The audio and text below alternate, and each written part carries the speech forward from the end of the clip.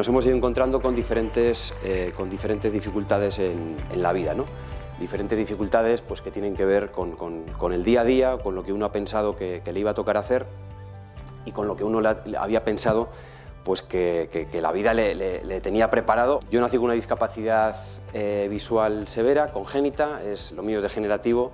Yo nunca vi la pizarra en el, en el colegio, en, la, en el instituto, en la universidad, y ya digo que esto ha sido, ha sido degenerativo. Si me veis un día por la calle, no es que no os quiera saludar o sea de un equipo que, que no es el vuestro, es que no os veo, o sea que me saludáis cuando, si coincidimos, me, me saludáis. Yo estaba federado en el club ciclista de, de Aro eh, y a los 12 años, pues casi a los 13 años tuve que dejar la bici. La única fórmula para correr o para poder eh, ir en bici era ir a rueda de alguien. ¿no? Y la única fórmula de ganar era, eh, o para ganar era ponerse a rueda de alguien, aguantar toda la etapa y a 50 metros, donde se ponía un amigo de aro eh, o mi hermano y me decía, ahora, ahora, arrancaba y sprintaba. Si acababa en curva me caía. ¿no? Esa era la única fórmula para, para ganar.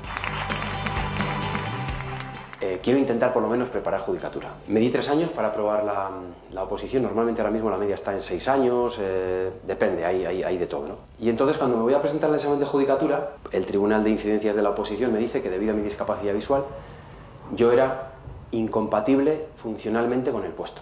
Me presenté a la oposición eh, y en la oposición, la oposición son tres exámenes. Presenté al primero y me advirtieron antes de presentarme que me lo pensara bien y que no me presentara. Yo para estudiar este temario tenía que escanear los documentos y escucharlos en audio. Me presenté al primero, eh, aprobé, saqué buena nota. Al final, por resumirlo, aprobé el segundo y seis días antes del último ejercicio eh, que con no haber hecho el ridículo pues hubiera tenido plaza, pues tuve un desprendimiento de retina total en los dos ojos, eh, en uno parcial y en otro total, y bueno, me quedé ciego total, eh, me tuvieron que ingresar, estuve 26, 21 días boca abajo a ver si me podían reubicar la retina, no pudieron, después empecé, recuperé un poquito perspectiva de luz, bultos que percibo, y bueno, pues tuve que dejar aquello. ¿no? Pero bueno, hay que estar preparados siempre, siempre, y ese es un poco el mensaje también relacionado con lo anterior, hay que estar preparados siempre para gestionar la adversidad. Que tengáis mucha suerte, que, también hace falta en el mundo del fútbol, ¿no? y de lo que no os podéis olvidar nunca, de que sois los mejores, y yo lo único que os puedo eh, desear es que os vaya todo lo mejor posible, pues que estoy a vuestra disposición y me tendréis a, vuestra disposición eh, siempre. Así que nada, encantado. Un honor, muchas gracias.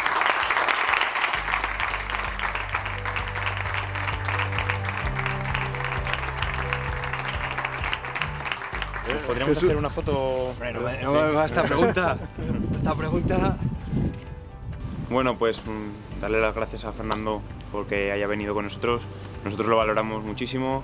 Hemos estado muy a gusto el rato que hemos estado con él y seguro que sacamos un aprendizaje muy positivo. Muchas gracias. Ojalá nos veamos en Tokio, ¿eh? como ha dicho bueno, el mister. Y si no es en la competición, será en la grada por ahí animando. Muy bien. Mucha suerte. Muchas gracias.